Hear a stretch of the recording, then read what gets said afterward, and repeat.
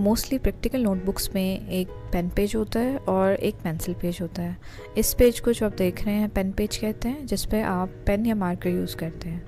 और इस पेज को पेंसिल पेज कहते हैं, जिस पे सिर्फ़ पेंसिल ही यूज़ की जाती है। पेन पेज पे सबसे पहले आप उस प्रैक्टिकल की स्टेटमेंट, फिर मटेरियल्स रिक्वायर्ड और फिर प्रोसीजर लिखेंगे। और देन डायग्राम बनाएँगे पेंसिल पेज पे।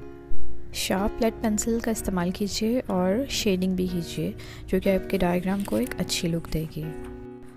फिर डायग्राम के बाद नेक्स्ट पेंसिल पेज पर आप उसी प्रैक्टिकल की ऑब्जर्वेशन लिखेंगे टेबल ड्रॉ करेंगे, उसमें रीडिंग कैलकुलेशन लिखेंगे और फाइनली फिर आप उस प्रैक्टिकल का रिज़ल्ट लिखेंगे। इसी फॉर्मेट से आप बाकी तमाम प्रैक्टिकल्स लिखेंगे, यानी डायग्राम और नेक्स्ट पेंसिल पेज के ऊपर उसी प्रैक्टिकल का टेबल ऑब्जर्वेशन टेबल फिर फाइनली उसका रिज़ल्ट याद रखें कि कभी भी पेंसिल पेज पर आप पेन या मार्कर का इस्तेमाल नहीं करेंगे, सिर्फ़ और सिर्फ़ पेंसिल इस्तेमाल की जाती है, इसीलिए इस पेज को हम पेंसिल पेज कहते हैं, जबकि पेन पेज पे आप मार्कर या पेन यूज़ कर सकते हैं।